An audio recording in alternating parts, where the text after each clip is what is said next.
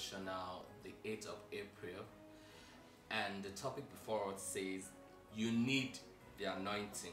Our text is taken from 1 Samuel 16 verse 11 to 13 and Samuel said unto Jesse I hear all thy children? And he said there remaineth yet the youngest and behold he kept the sheep. And Samuel said unto Jesse Send and fetch him, for we will not sit down till he come hither. And he sent and brought him in, and he was ruddy and withal of a beautiful countenance and godly to look.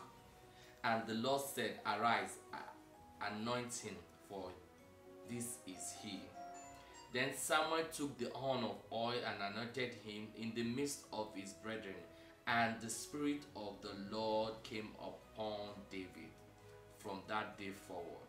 So Samuel rose up and went to Ramah. Our text, our memory verse is taken from 1 Kings 19, verse 16. And Jehu, the son of Nimshi, shall thou anoint to be king over Israel, and Elisha, the son of Shaphat of Abel Meholah, shall thou anoint to be the prophet in thy room. The first thing we have to first establish here is that um, we all need God's anointing, and there is power in the anointing, which which comes by the Spirit of God, just as we saw in our text that we just read. It is done, the channel, it is being backed up by the Spirit of God. And also, there are some requirements, there are some attributes we must first possess. You understand? Even before we can get the anointing. Just as we have the 12 disciples, they were not just chosen like that. God specifically chose those ones because He knows that this one can carry the anointing because the anointing is what is for work. You know, some people feel that ordination is uh, is a thing of title alone. Ordination is not a thing of title. It is um, basically the impartation of the anointing for the service or the assignment you are to render or you'll be rendering or the or, or the god-given assignment upon your life praise the name of the lord so um the anointing also is um I call it like the the the the oil. Just like uh, what is it called? The car.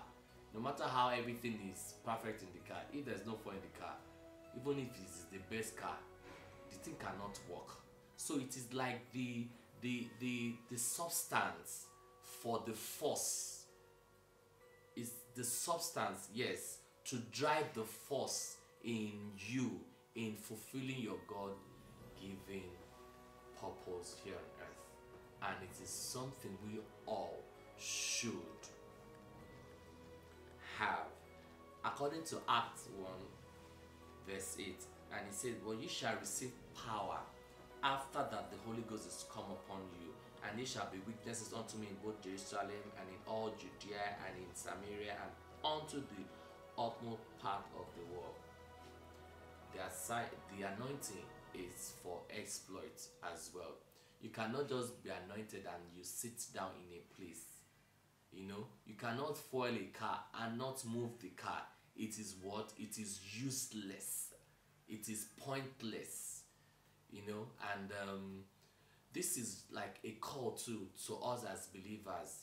In everything we do we should always make sure that the anointing is not just for decoration but it is to propagate the gospel of our lord jesus christ and the furtherance of god's work right here on earth.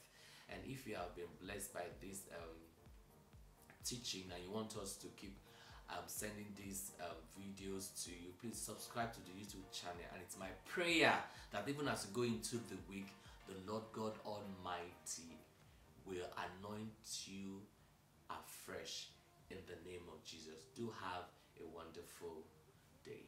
God bless you